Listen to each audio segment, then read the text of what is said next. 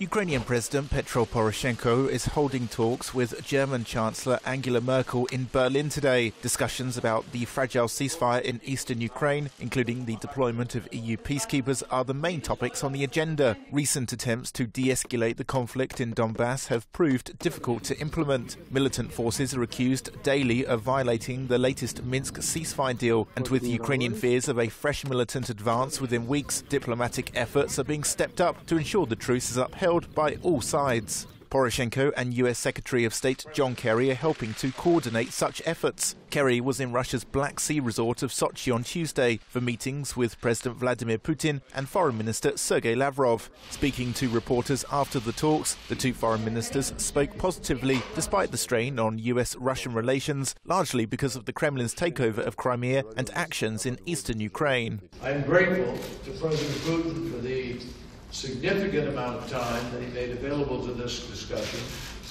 for his directness, uh, and for his very detailed explanations of Russia's position with respect to some of these challenges, and of the ways that he believed that we have an ability to be able to work constructively together in order to resolve these problems.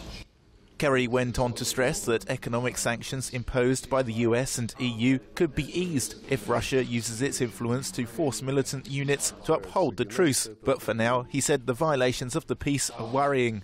But I also made clear our deep concerns regarding the situation on the ground. Continued perceived violations of ceasefire in uh, Shirokina, uh, and at the Donetsk airport, the continued arming, training, command and control of separate forces. Meanwhile, Angela Merkel reaffirmed her support for peace efforts during meetings with Vladimir Putin last weekend, following Victory Day commemorations.